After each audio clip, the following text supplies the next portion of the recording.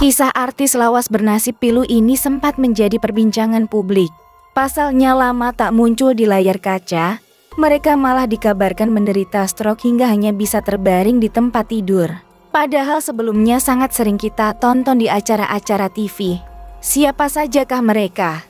Berikut daftarnya untuk Anda yang telah dirangkum oleh tim Bintang Top. Hari Panja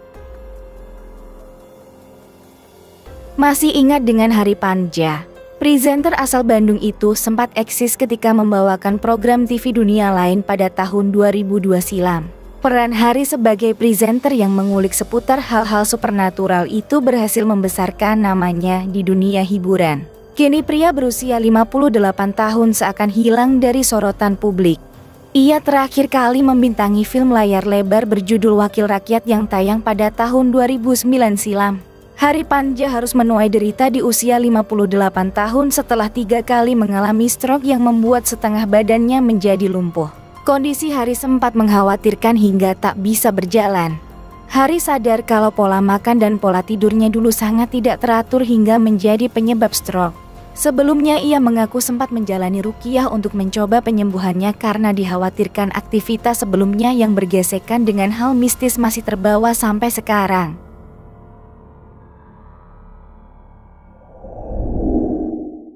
Irgi Fahrezi Aktor lawas Irgi Fahrezi yang eksis di era 1990-an sempat menghilang dari dunia hiburan. Irgi Fahrezi sempat difonis terserang penyakit stroke pada tahun 2020 lalu. Namun Irgi Fahrezi berhasil menyembunyikan perihal penyakitnya tersebut dari sorotan publik.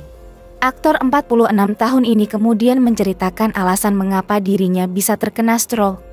Rupanya tensi darah akibat terlalu banyak beban pikiranlah yang pada akhirnya membuat suami dari Feni Aries Hanti ini mengalami stroke.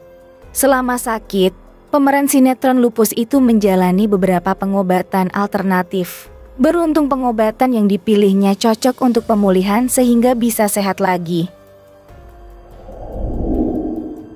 Betaria Sonata Kondisi kesehatan Betaria Sonata belakangan ini lagi jadi perbincangan masyarakat setelah terkena penyakit stroke.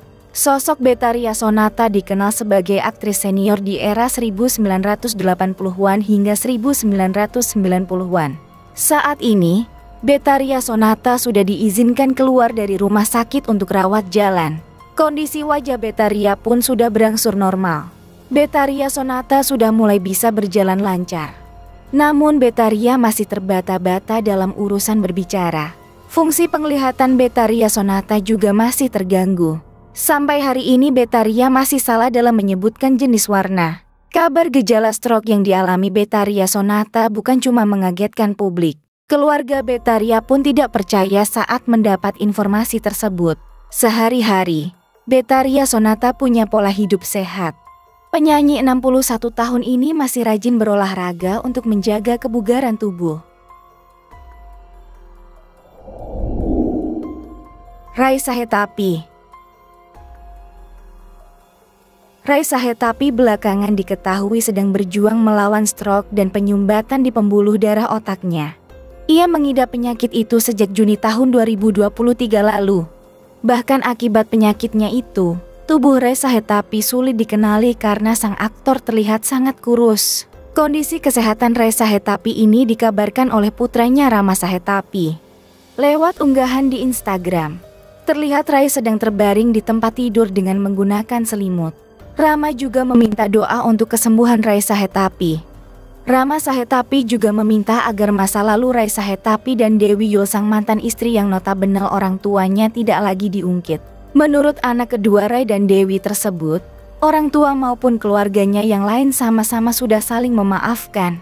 Masa lalu Rai Sahetapi diduga berkaitan dengan keputusannya ingin berpoligami saat masih menikah dengan Dewi Yul. Kendati Dewi Yul menolak dan berakhir dengan gugatan cerai, Rai tetap menikah dengan Sri Respatini Kusumastuti pada tahun 2004 silam.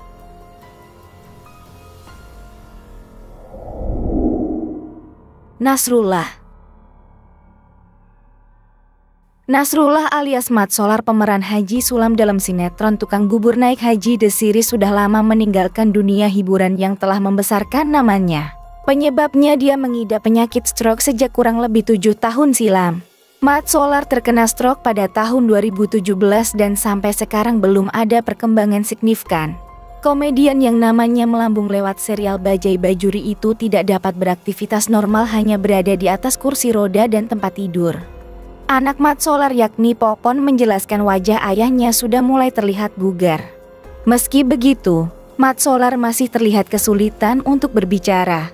Selain itu, Mat Solar biasanya hanya berbaring mengisi waktu luangnya. Bahkan kata Popon, ia sudah tidak lagi menonton TV.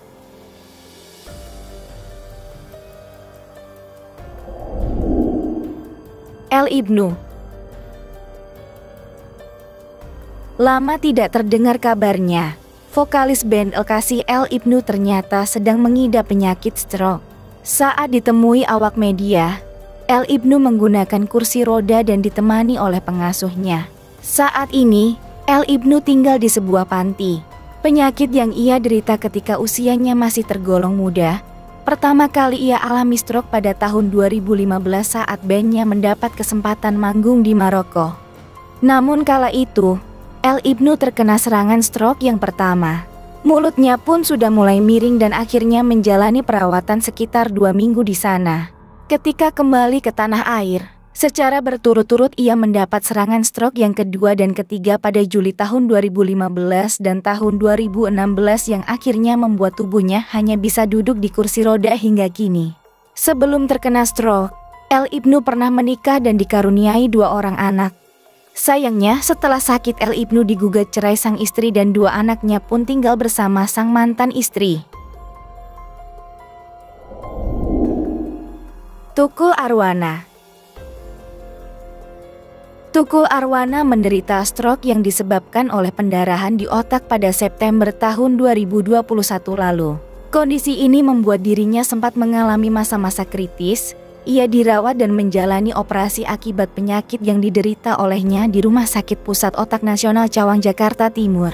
Perawatan dan pemulihannya telah berlangsung selama hampir empat tahun. Meskipun begitu, kabar terbaru menyebutkan bahwa kondisinya semakin membaik. Informasi ini disampaikan oleh Ega Prayudi, anak sulung Tukul Arwana yang saat ini sedang berada di luar kota.